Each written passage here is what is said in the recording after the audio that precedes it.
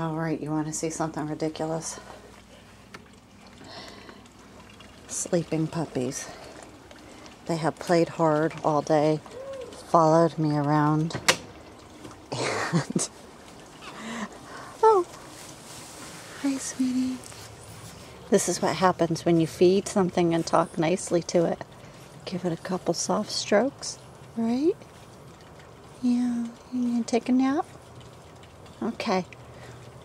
I'll see you later.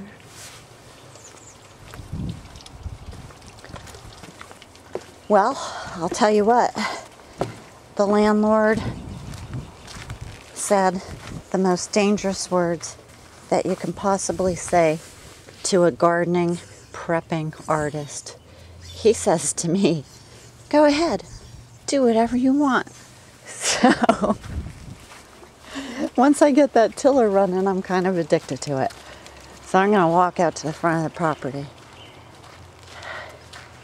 And one of these days, I'll have a trash bag in hand and I'm going to go into the woods here, clean up the street, and I've already put in one wild blackberry over here, and he is looking pretty good. And looks, look at this trash. Well, anyway, I'm gonna do up and down here. Uh oh, come on, guys. Come on, come on. Come on. Um, I am going to just line that whole entire area with wild blackberries and see how they do. So here's the tiller work. This will be planted most likely with just tons and tons of wild flowers of all kinds. Attract the hummingbirds and butterflies and bees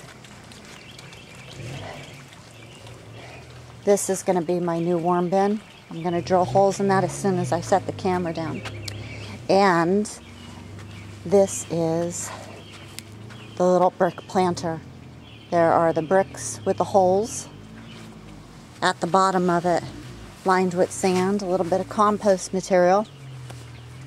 Then it has concrete block, and then these little brick pavers were just set on top of it. And I'm going to put some basil seed in here some plate glass over the top of it and have it uh, like a little greenhouse for right now. And then I didn't feel like schlepping those. I don't know what I'm going to do with those yet.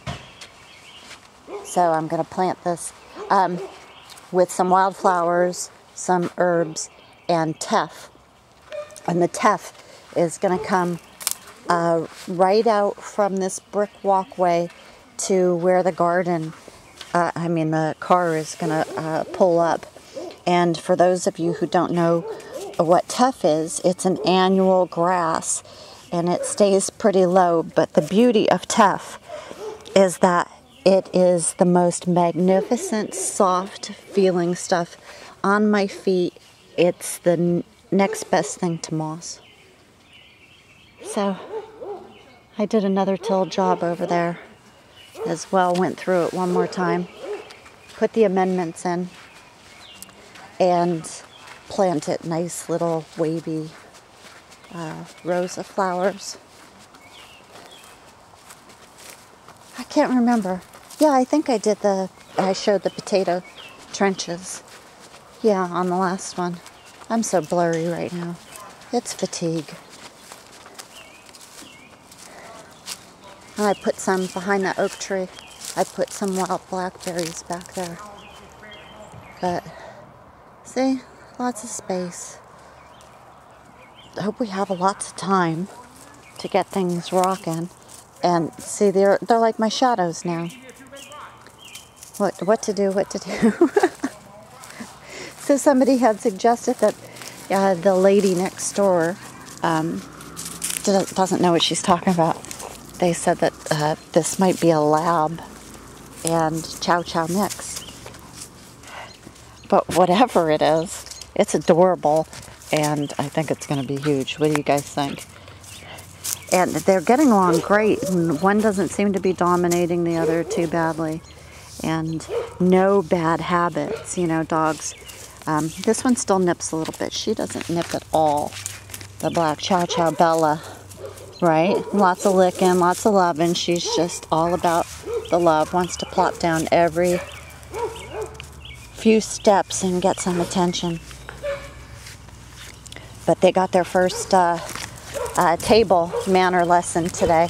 I was having a little lunch out on the deck and they automatically wanted a mooch. So I put that, nip that in the bud. It's easier to start them off with the good habits and try to break the bad habits for sure.